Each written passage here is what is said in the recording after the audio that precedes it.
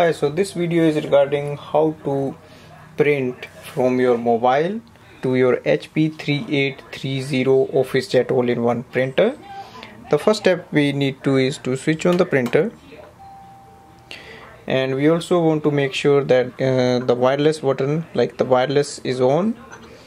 Now we have to go to our mobile and we have to go to the Wi-Fi and we have to select from here. So that is here I can see. Now we go to the Wi-Fi. We can see our printer here OfficeJet 38 now it asks for the password and there is a universal password for this. 1 2 3 4 5 6 7 8 and we click on connect and we can see it's connected.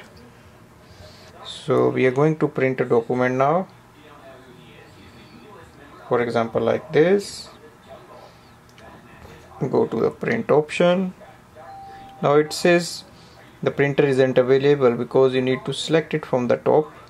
So select the one 3830 once we select it it automatically comes up here with all the documents. And once we press print button the command has gone and we can see it has started printing.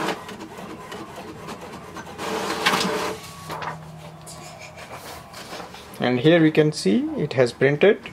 So thanks for watching